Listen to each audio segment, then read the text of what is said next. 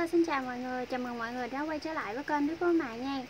Chuẩn bị uh, làm cái món uh, cá lồng rồng kho xà ớt uh, với uh, canh uh, canh canh mướp bộ ngót nấu với um, tép rong á. Chạy đi ra đây á quay mà trời đang mưa vậy nè ba đâu có cho ra đâu. Hồi nãy chạy ra ba thấy cầm cái máy ba hỏi đi đâu vậy? Thế nói con đi ra con quay clip một chút. Ba nói mưa gió mà quay cái gì? Ba sợ ướt á nói thôi con quay chút xíu con vô. Tại vì um, bỏ lâu quá khán giả bỏ con đi luôn. Chạy ra đây ba kêu á quay nhanh nhanh đi vô. Tại vì đang mưa quá nè. Đó các bạn thấy không? Mưa cả ngày luôn á. Mua cái gì đâu mà mưa nửa tháng nay đâu có làm ăn gì được đâu. Các bạn nhớ nếu mà yêu thương mình nhớ theo dõi hết clip ủng hộ mình nha. Với lại nhớ đăng ký kênh ủng hộ mình với à, nếu mà à, các bạn thích mình á cho mình xin à, một like nữa nha. Cảm ơn các bạn nhiều đây là con cá lồng rồng nè các bạn.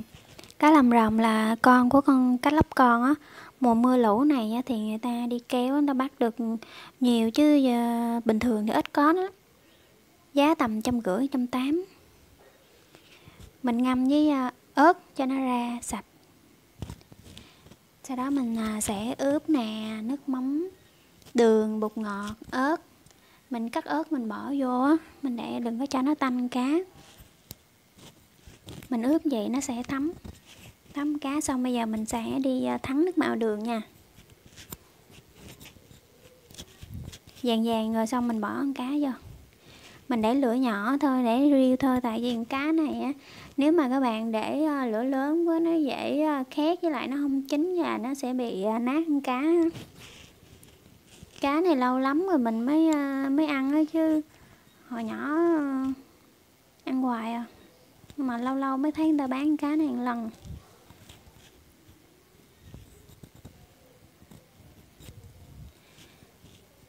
Mình để xả vô tại vì à, hôm nay mưa quá không có đi à, hái xả được. Có xả tươi thì sẽ thơm với lại nó à, nó ngon hơn.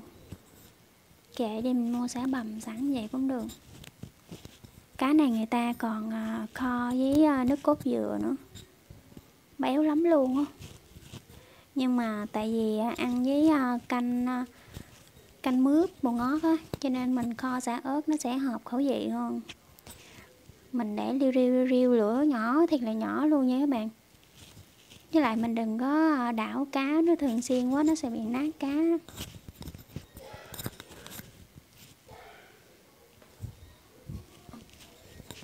Mình để đây mình đi bắt nồi canh lên.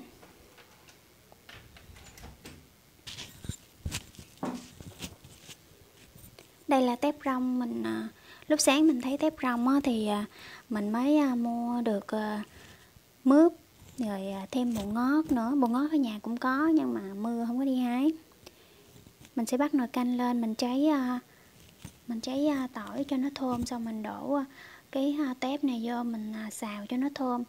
Cái tép này là mình đã ướp rồi nha mình thích ướp với lại mình xào như vậy thì à, cái nồi canh mình nó sẽ đậm đà cái hương vị hơn là so với mình bắt nồi nước lên mình để đổ tép vô. Mình ướp à, một chút à, xíu muối bột ngọt vô thôi. Các bạn thích bột niêm thì mình cứ để bột niêm vô. Mình xào cho nó thơm thì là thơm. Xong mình chế nước vô.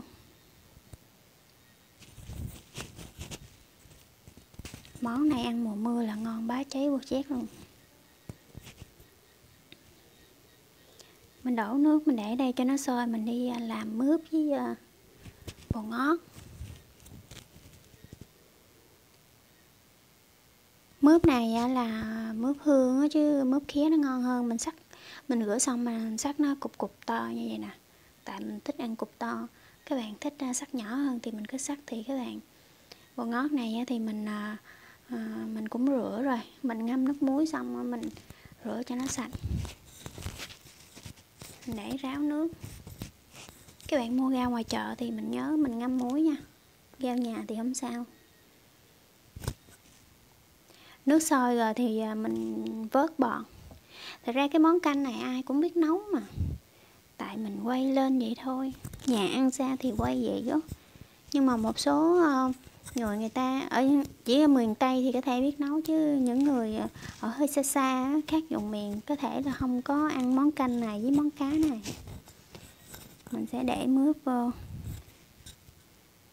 Nói chứ mấy trái mướp này nó đầy nồi luôn đó. Cho nên lúc mà các bạn à, đổ nước vô mình à, để nửa nồi thôi, tại mình cho mướp vô thì nó cũng đầy nồi rồi. Còn các bạn để đầy quá nó tràn ra luôn á.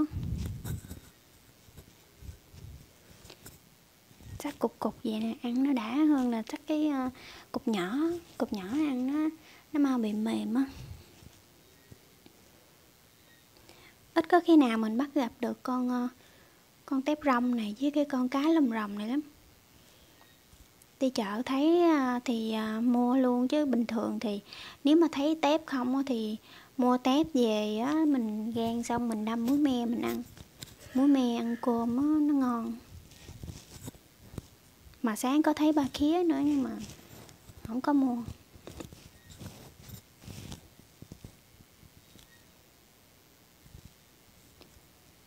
Nước sôi rồi mình à, để bột ngót vô.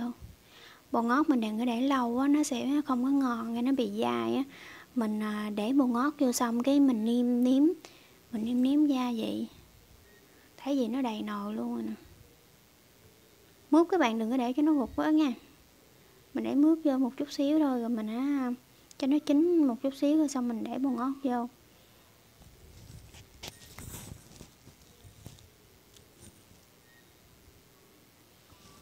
Một nồi vậy chứ ăn cũng đâu có hết. Hút canh không chắc khỏi ăn cơm. Mưa này ăn tô cơm, xong tô canh, xong rồi ăn với cá nó trời rồi bá cháy luôn.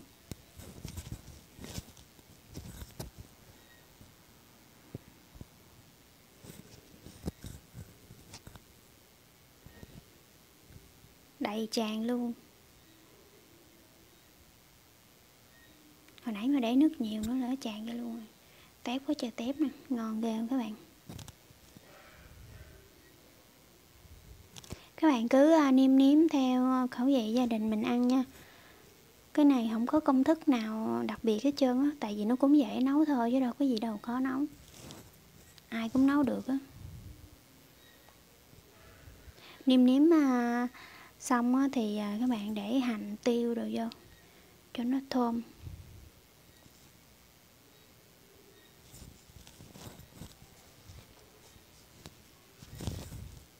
Bây giờ mà ai mà không biết nấu ăn thì cũng dở lắm ha các bạn ha? Trên mạng đầy hết trơn luôn. Mà tại sao con gái lại không biết nấu ăn ta?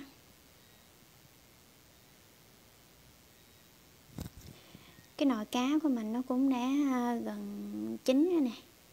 Vậy thì mình đã tắt bếp được rồi. Mình à, tắt cái bếp thì à, cái cái bếp của mình nó vẫn còn nóng á. Cho nên mình cứ để gì riu là nó vừa rồi.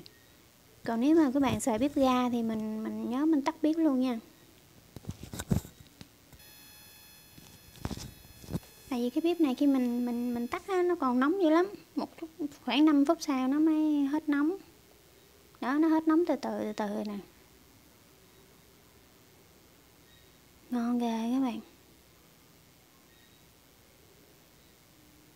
Đứng quay mà đứng đảo đảo đảo đảo một hồi nát con cá luôn.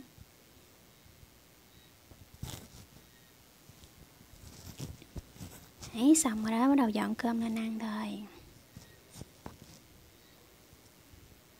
Mâm cơm này à, cũng không có tốn nhiều tiền. Đấy, nhưng mà nó ngon lắm luôn nha. Đơn giản mà ngon hay các bạn. Các bạn nhớ đăng ký kênh để uh, ủng hộ mình nhé nha. Nếu yêu thương mình nhớ cho mình một like với cảm ơn các bạn nhiều.